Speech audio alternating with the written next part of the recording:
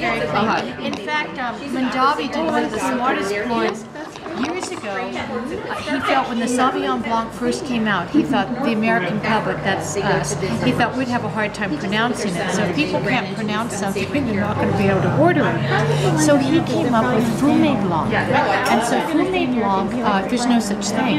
But he felt that we, the limited species that we are, we could pronounce it, and it opened up the whole world to Sauvignon Blanc. So people would go into restaurants and say, I want Fumé Blanc, but there's no such thing as Sauvignon Blanc. Beautiful marketing.